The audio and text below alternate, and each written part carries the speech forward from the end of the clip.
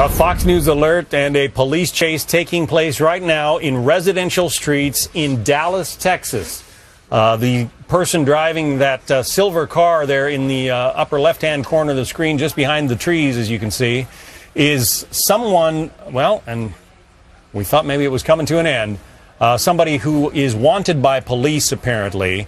Uh, they tried to pull him over, we're told, in the 4200 block of North Jim Miller. That's the road in Dallas, Texas, and this driver took off. Why? Well, who knows? You never know why these things happen. Um, but KDFW is on it from their chopper, as you can see. Uh, it is going through residential streets, and it even looked like an alley back there just a moment ago but police are continuing the pursuit. That did look where it's into, John, and uh, we're trying to find out more information about exactly this area that the cars are driving around at this time. Looks mainly residential. Uh, we're nearing midday, about an hour difference there in Dallas, so just after 10 o'clock in the morning, so most of the commuting traffic is gone. But the big question about why this guy is running, of course, is always the question that we bring up in a car chase. We don't know if there's anybody else in the car. It's very limited at this time, but a little deja vu, John, because earlier in this week we had another car chase at a low speed out in Los Angeles. So a little bit of a trend here. Wonder what's going on. Uh, that's certainly the case, Jenna. This uh, guy doesn't seem to know exactly where he's going, uh, just driving around residential streets. It's all taking place uh, a little bit south of the I 30 and a little bit west of I 635 and east of I 45 in Dallas. Again, just off of uh, Jim Miller, uh, Jim Miller Road is, is my understanding of where this traffic stop originally took place.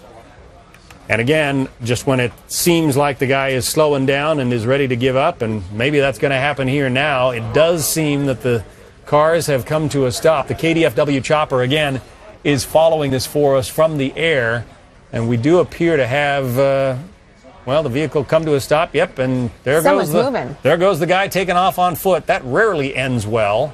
Maybe he thinks he can outrun the one officer in the black and white patrol car.